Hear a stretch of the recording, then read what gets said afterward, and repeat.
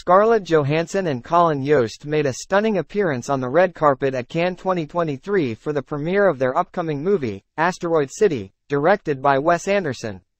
The couple showcased their impeccable fashion sense, garnering admiration from fans and setting couple goals with their stylish looks.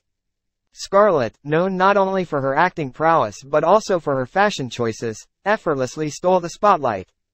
She wore a gorgeous pink and white gown from Prada, featuring a bralette design and a back slit. Displaying confidence, she proudly showcased her back tattoo. Completing her ensemble, she adorned a pair of star-designed ear studs.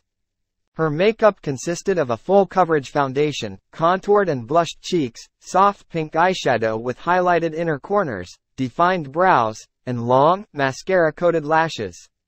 However, it was her bold red lips that truly stood out, adding a touch of glamour to her overall look. Her hair was styled in an open, flowing manner, adding an edgy element to her appearance. Colin Jost perfectly complemented Scarlett's elegance with his handsome appearance. He looked dashing in a classic black tuxedo suit paired with a crisp white shirt and a black bow tie. While Scarlett's fashion sense received mixed reviews, Colin's undeniable charm left a lasting impression on many. The couple's pictures from the Cannes red carpet quickly circulated on social media, captivating fans and generating excitement for their upcoming film. E! News shared a series of photos, showcasing the couple's stylish attire and their chemistry as they posed together.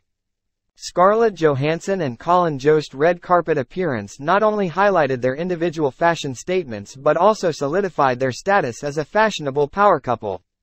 As they promoted their upcoming film, their striking looks and undeniable chemistry left fans eagerly anticipating their on-screen performance in Asteroid City.